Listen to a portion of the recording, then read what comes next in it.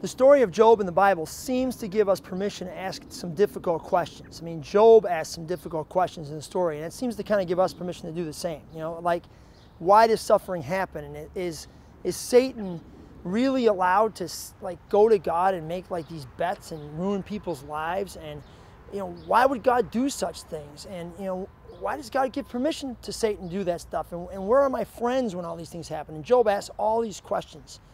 But as you get to the end of the story, it's not a question that really draws you in. It's actually a statement that Job makes.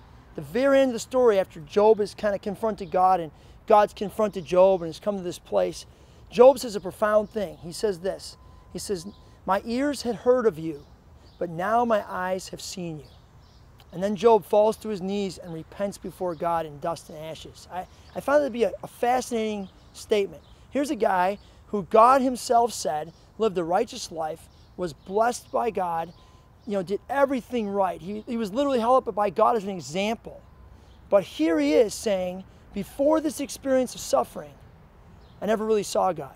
I had heard about him, I knew about him, I was living for him, I never really saw him. Is that what it takes? I mean, do you have to suffer to see God? You have to be broken, you know, cracked in half, you have to go through terrible experiences?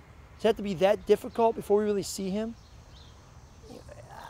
I don't know. That's, that's hard stuff. Have you seen God? Have you met Him face to face, or do you just know about Him? Job, through his suffering, saw God in a whole new way. He, in fact, I think he lived out the rest of his life with a whole new perspective on who God was.